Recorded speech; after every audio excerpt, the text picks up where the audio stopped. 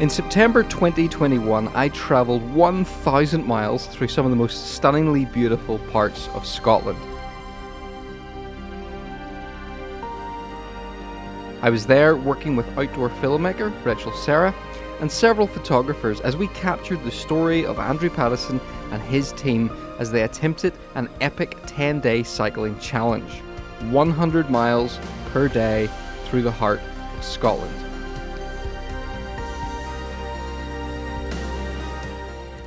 That documentary is now out on GCN Plus, the global cycling network streaming platform. It's kind of like Netflix, but for cyclists.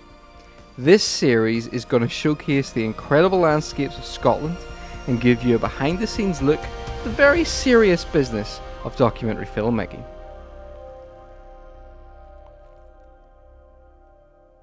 I honestly think this is going to be a wicked shot. Yeah.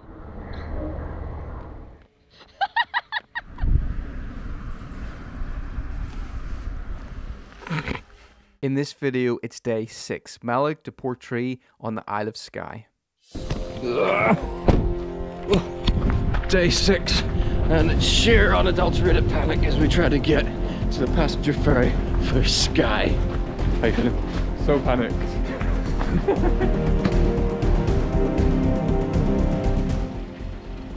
Oh. Okay, they're away. We've got a ferry to catch. Oh, we're gonna be down there in five minutes. Where's Jonathan? He's driving the car. Come on!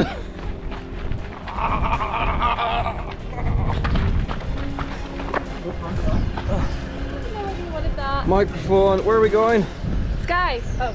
Fly. Skye. to Skye.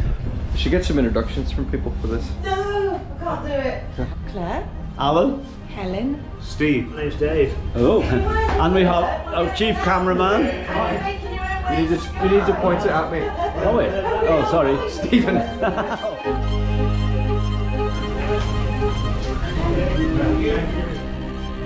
Boarding the ferry to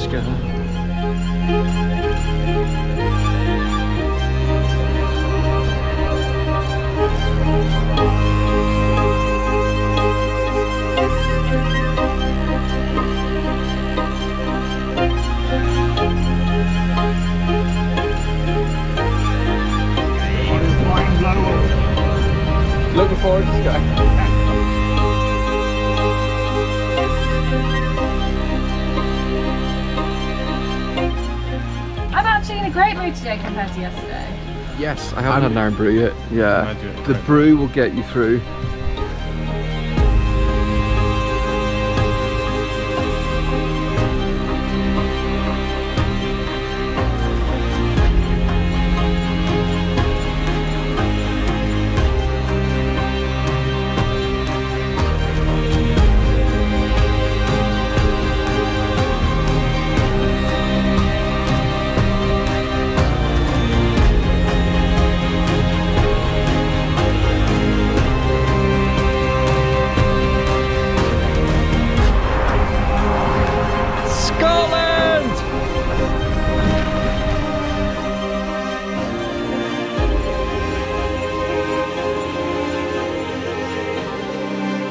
About e-bikes, I might be able to help. He lives in Manchester, but if you call him He's like, We're just got a call from the bike team or to say that there's a problem with the electrics on Andrew's bike. How big a deal is this?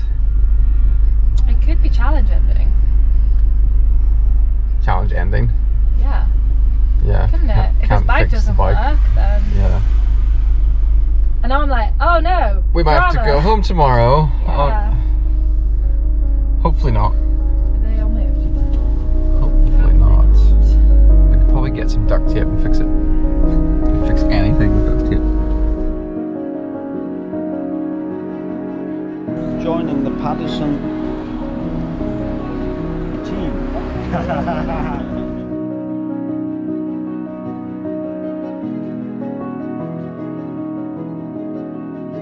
Yeah. Like, because we had to go and maybe have to pick him up?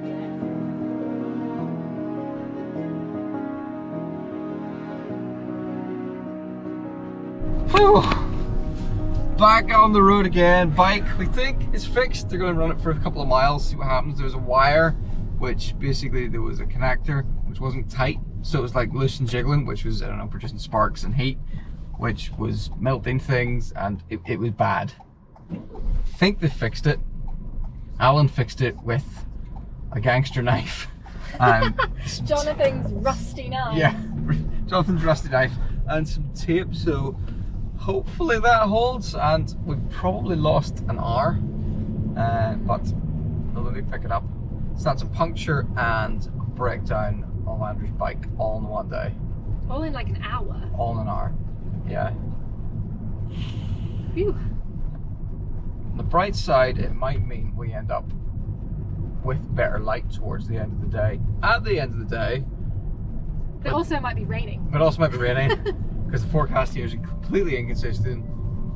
And it also might mean we're in incredibly late and eating dinner at 10 o'clock again. Yeah, it was 10 o'clock last night.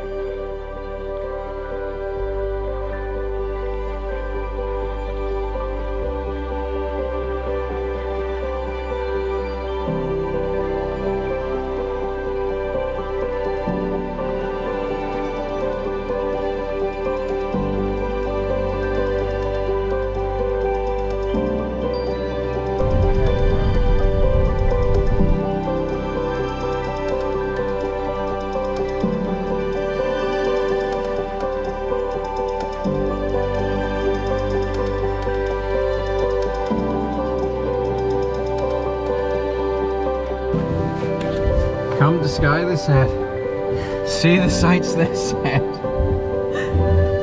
It's raining!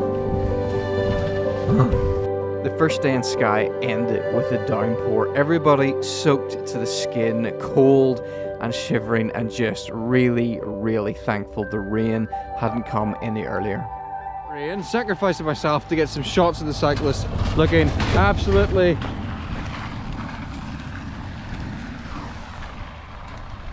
Thanks for that.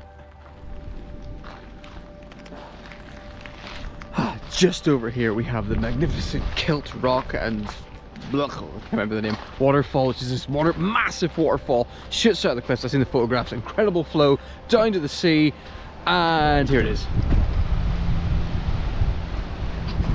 Apparently somebody turned off the water because today the waterfall is no more than a trickle, which is rather surprising considering the amount of water that's currently landing on us.